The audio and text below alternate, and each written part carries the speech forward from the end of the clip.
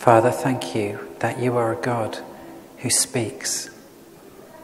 Thank you that we have your word, the Bible, the most precious thing this world affords. Thank you that you are here now by your Spirit. And we pray you'd speak to our hearts. Speak to us the words we most need to hear and bring us life. In Jesus' name, Amen.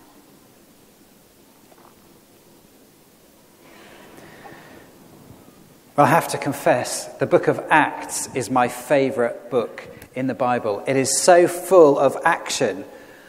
And some of the things that happen in that book are just the most extraordinary, life changing things that have ever happened anywhere on the face of the earth. I think if you're bored of reading the book of Acts, you really are bored of life because there is more life than you can possibly imagine contained in these stories. What is the source of that life?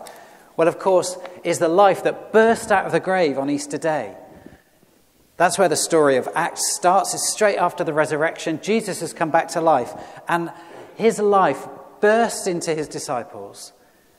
And then it spreads out from them through the whole of the known world. It starts in Jerusalem, and then it goes to Judea and Samaria and to the ends of the earth. And by the end of Acts, it's reached Rome, kind of the center of the empire. There's so much energy about Acts. One of my friends once told me, I think the Holy Spirit is like an 18 year old man jumping around the church going, I'm building stuff, I'm building people, I'm changing people's lives. Now, I ask you, is that the first picture that comes to mind when someone says Church of England to you? no, but this is what the church started off like. And although it's possible to be a little bit kind of rose tinted specs about it, this is where we get our blueprint of what life, Jesus' life, really looks like when it encounters human beings. And Philip is a great example of someone who carries that life and makes monumental changes because of it. So, this encounter um, with the, the guy from Ethiopia, one of the first Africans, perhaps the first black person to become a Christian, and the Ethiopian church, as you might know, is one of the oldest churches in the world. And this encounter, I mean, we, we don't know for sure, but it is possible that this encounter started off, sparked the spread of Christianity across the whole continent of Africa. And if you think about the African church, the size, the vibrancy, the life that's in the African church even today, you think, wow, one conversation by the side of the road, and look what happened. That's the kind of spirit of the book of Acts. The Holy Spirit does something that just mushrooms into more life than we could ever possibly imagine. Now, I wonder have you ever had one of those moments where you have this little prompting that you think, oh, I should do that? And then you do it, and something amazing happens as a result. Does that ever happen to you? Just kind of occasionally. Good, a few of us. Has anyone got an exciting one they want to share with, share with the class this morning? No? Okay, we'll pray for more courage for next week. Um, I, d- I know just, just a very small scale example of this. Um, as you might know, this church is part of a team of four churches in Marlow Bottom, Little Marlow, and Bisham. So this morning I've done a service in Little Marlow, a service in Bisham, and now I'm here. And one morning I arrived on, on this um, kind of round that I sometimes do on Sunday mornings at Bisham Church. It was snowing, it was 8 a.m., and there were about six of us there. Okay? And um, one of the ladies um, who um, is probably 80 and quite frail, was there. And I went, Wow, Pearl, it's great to see you. I wasn't expecting you'd be here today. And she said, Well, I wasn't expected to be here either, but um, I just thought I'll open the door and see if it really is as icy as there as it looks. And as I opened the door, my friend Rowena drove past and stopped and gave me a lift, and so I could come to church. Isn't that a wonderful answer to my prayers? And I went, Wow, that is, that's amazing. And Rowena standing next to me and she went, Yes, yes. The most, the most amazing bit is, I don't ever drive past Pearl's house on the way to church, but as I left home this morning, I just felt I should drive through the village rather than going through, you know, the town. And so uh, I don't really know why, but I did. And just as I was driving past Pearl's house, the door opened and there she was, and I came to church. Now, does that kind of thing ring any bells? I mean, I would say that that was an example of the Spirit prompting Rowena to go a different way and pick up Pearl. Did it change the whole history of the human race? Probably not. But was it a really lovely example of how when we pay attention to God, sometimes really good things happen that make our days far better than if we're close to them. Well, Philip was having a day a bit like this, because there he was, minding his own business, and he got a prompting to go down towards the coast on a road that was wild, was through the wilderness. One translation possibly means that it was noon, which is like the worst time of day in the Middle East um, for traveling. So you might notice if you've got the Bible open that the, the word travels south um, down from Jerusalem to Gaza. It could also mean travel at noon. Um, and so he got up and went. Now that's the key to the whole story right there, isn't it? He got up and went. Because if he'd ignored that prompting, there wouldn't be an Acts chapter 8 or the second part of it. But he did. So he got up and went. And then he bumped into someone on the road who was a very interesting man. Because this guy, as I've, i explained earlier, is from Ethiopia. It's actually modern day Sudan. And he was from, um, from the Queen's Court, the Candace. Um, uh, the inscriptions they've discovered in, in Sudan um, indicate that that was kind of the title that was given to the, to the Queen. Um, and he is like her Chancellor of the Exchequer. He's in charge of the Treasury. He's an important, influential, wealthy man. Um, and he is traveling to Jerusalem to worship and he's come back again. Now, when I first read this story, I remember thinking, the guy's in a chariot. I'm thinking kind of gladiator. You know, he's probably moving at 40 miles an hour. Wow, Philip was like the Usain Bolt of the ancient world. How did he keep up with him? But I've discovered that chariots, usually in those days, were pulled by oxen. So he's probably not moving quite so fast. So if, in case any of you like me are going, how did he catch up with the chariot? I mean, he's plodding along. Imagine going from Sudan to Jerusalem by ox. Man, that guy wanted to worship, didn't he? That's a long, long journey. And Philip kind of draws up alongside him. And another interesting thing is that this guy from Ethiopia, he was a eunuch, which means that he is not permitted to um, be part of the Jewish people. According to the laws, the Old Testament laws, he would not be allowed to convert to Judaism. And so he was going to worship, but he was an outsider. He was an outsider. He was someone, if you like, who would know rejection by the church. And I know that some of you know how that feels. He was rejected by the church, but he was still determined to worship. And so he goes to Jerusalem, he worships, and then he comes back. And um, Philip jogs along and asks him a question. And this is the question that sparked, possibly, the birth of the whole Christian church in Africa. Do you understand what you're reading? Now, you know, to be involved in God's plans, we don't have to have kind of hugely impressive speeches to make. He sees him reading the Bible, reading the Old Testament scriptures, and says, Do you understand what you're reading? And so the Holy Spirit has taken Philip and his obedience to these promptings down onto the road alongside the chariot, and then he asks that one question.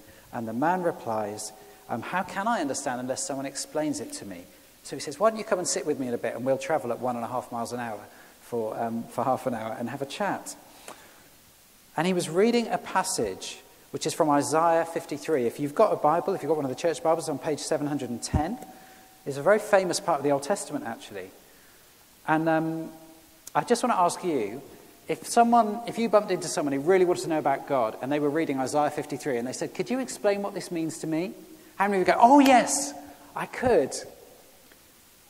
You know, part of being useful to God, I would say part of being led by the Spirit, is actually knowing the story, knowing the scriptures, reading them.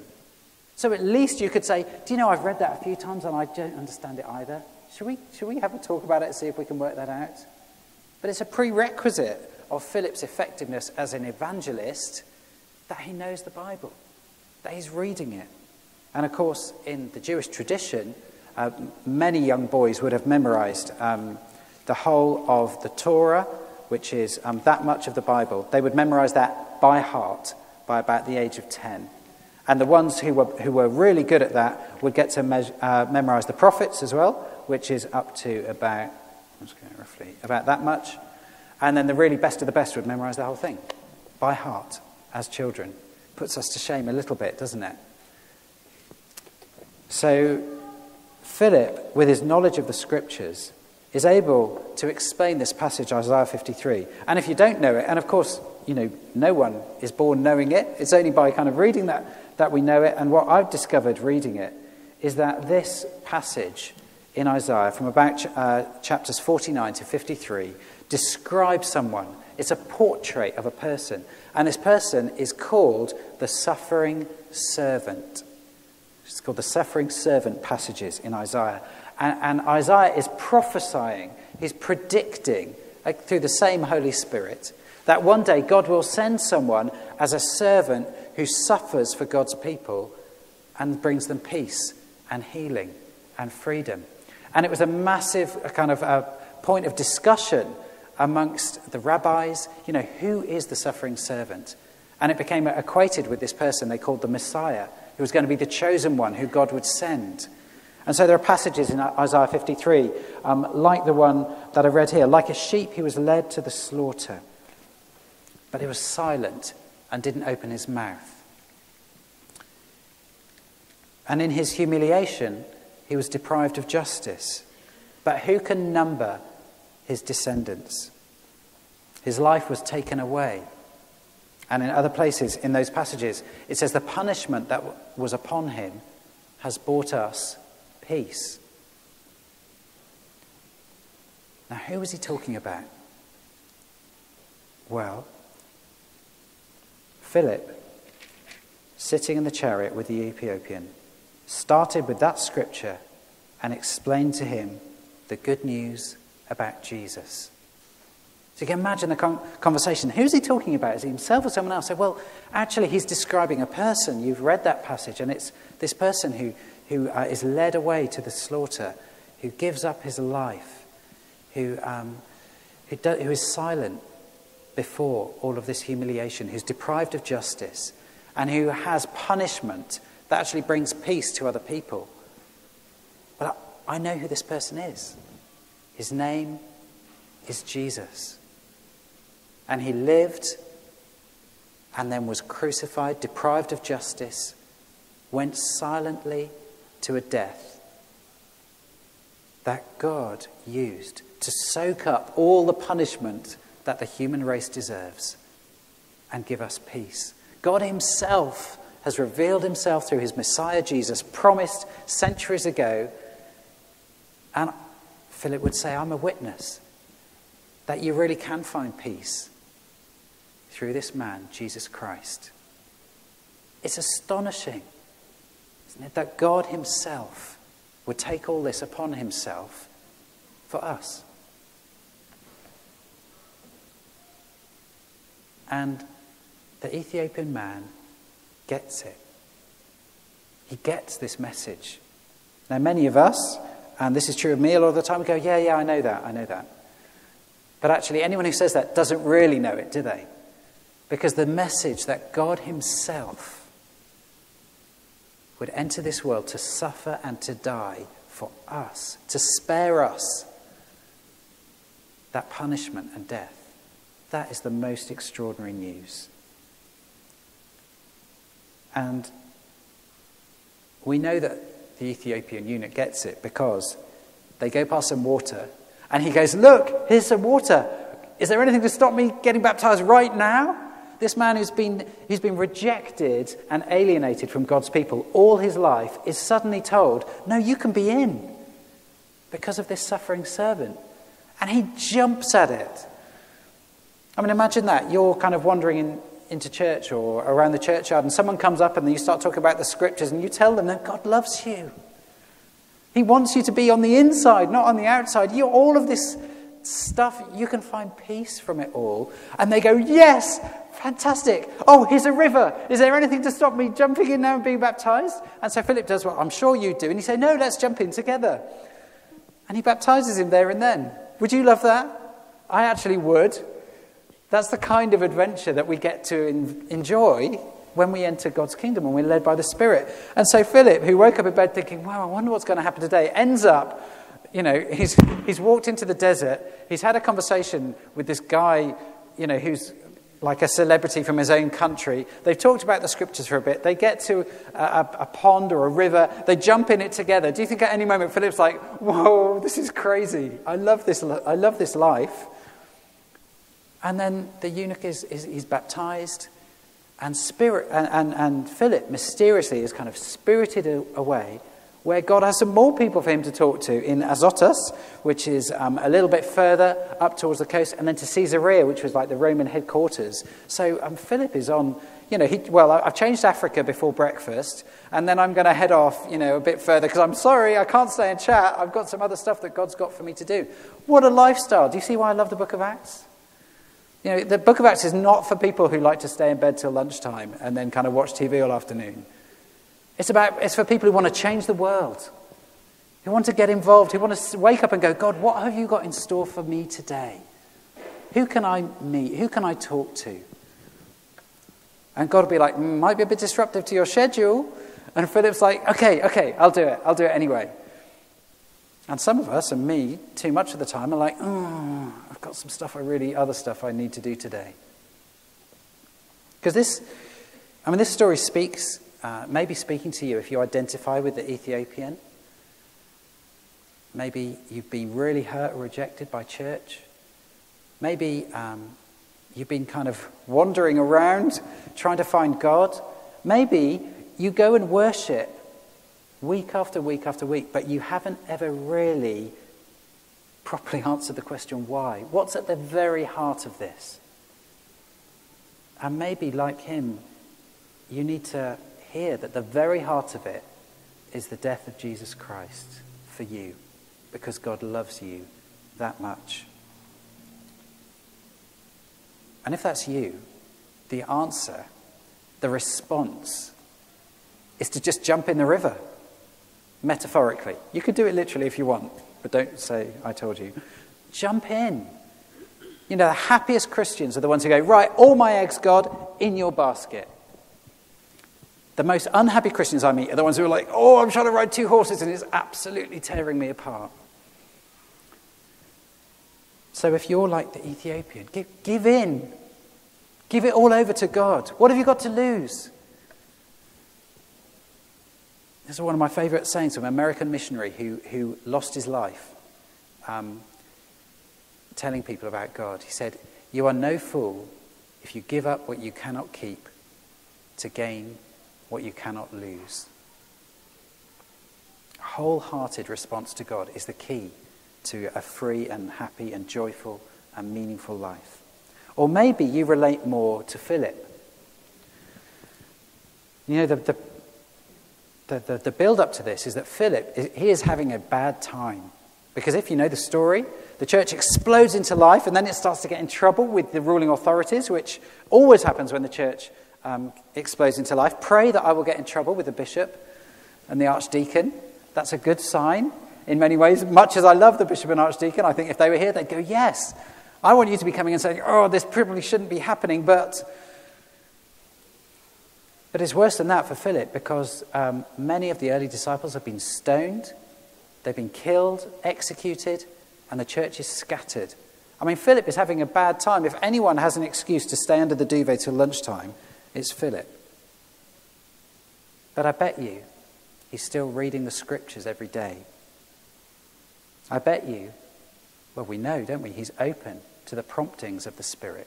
And God speaks to us in so many different ways. But in my experience, the more I read the Bible, the more God speaks to me in all kinds of different ways, including especially what I'm reading.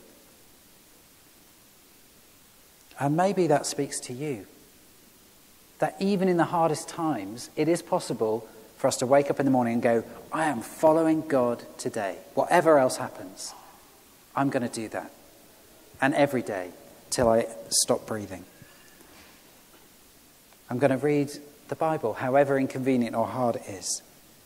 I'm going to try and obey those promptings in my life, the things that I know God wants me to do, however inconvenient or difficult they might be.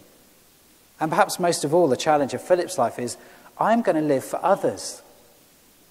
I'm not going to try and build up some big reputation for myself. God wants me to go into the wilderness, I'll go. He wants me to go to where the horrible Roman soldiers are at Caesarea, where I'll probably get stoned, I'll go. If he's got even one person being pulled along by an ox in a chariot who I need to speak to, I'll go. Because my life is available to God. That's the challenge. And the book of Acts, as I said at the beginning, is a picture to us of life led by the Holy Spirit. And I hope the last few minutes have made you think, as it makes me think, oh, my life doesn't look very much like that. But here's the thing we don't get to write a different book of Acts where life is exactly like it already is for us. We're meant to feel that tension, and we're meant to be challenged to think, well, am I going to live more like this or the way that I'm living at the moment because, well, whatever, because lots of good reasons. And that the challenge that we face as Christians is are we going to rise to the, the invitation to live this way? To be radically responsive to the Holy Spirit. To be deeply committed. It's a lifelong um, task to become well acquainted with this book. It's not something we can get done in a month or a year, or I would say even a decade. It takes a lifetime of long obedience in the same direction. Are we going to decide it's more important for us to see God's word of life spread around the world than it is for us to achieve our own goals for career or family or fitness or whatever else, else it is? These are the questions we have to respond to. This is a picture of what life could be like for each and every one of us if we will respond. But there's only one person who gets to choose, and that's us, ourselves. You are the only person who can decide what your life's going to look like. And my encouragement, my challenge to each of us is to take this on board. And it can't all change in a day, but we can decide today, I'm going to live more like this today than I did yesterday. And it's those daily choices that end up deciding who we are, what our life looks like, who we become, and ultimately, for the whole of eternity, whether we were involved in something like the spread of Christianity across a whole continent, or whether we gave our lives to some lesser goal. We are involved, unless we choose not to be, in the most significant movement that the world has ever known or will ever know, with the power to improve the lives of every man, woman, and child on the planet. And some people are going to say, I'm in, I'm jumping in the river. And others are going to go, mm, no. Which one am I going to do? Which are you going to do? God gives you the choice. I'm going to leave a, a few, uh, a minute or two of silence now. And I would like you to find a cross somewhere in the church. I'm sure you can see one from where you're sitting. Children at Sandergate School reliably inform me there are over 40 crosses on display in this church. I would like you just to gaze at it for two minutes and to ask yourself, what does it mean to me that God loves me so much, he sent his son to die? Let's sit and meditate on that thought for a moment.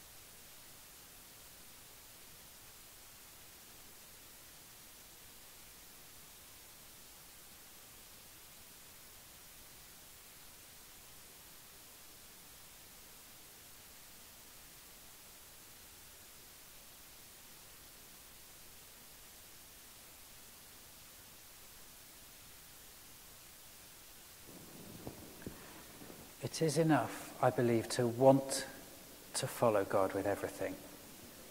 God can help us with all the rest.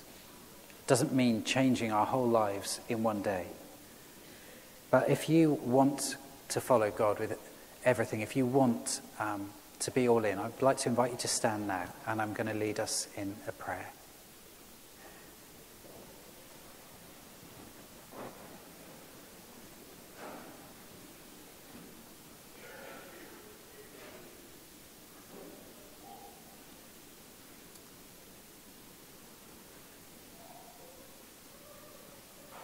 Lord Jesus, though you had everything, you became nothing for us.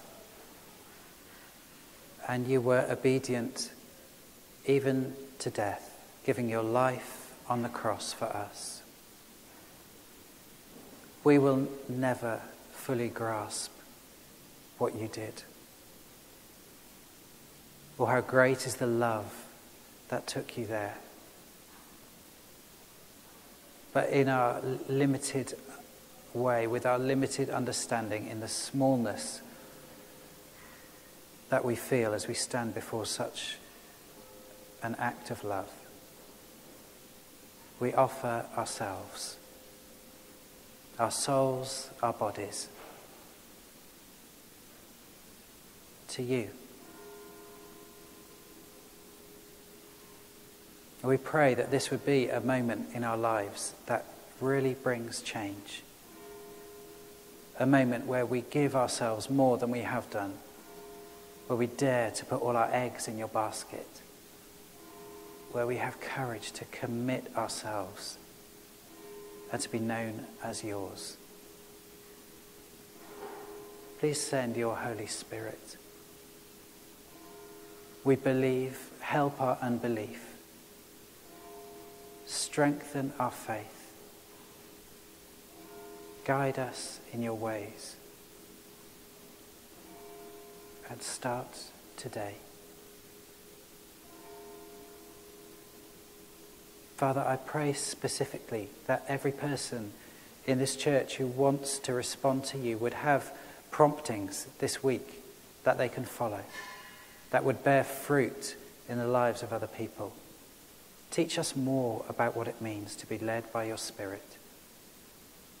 And help us to resolve each day that to respond to you is more important than any other thing we do that day. Save us from distraction and temptation. And lead us in your way that leads to everlasting life. In Jesus' name we pray. Amen.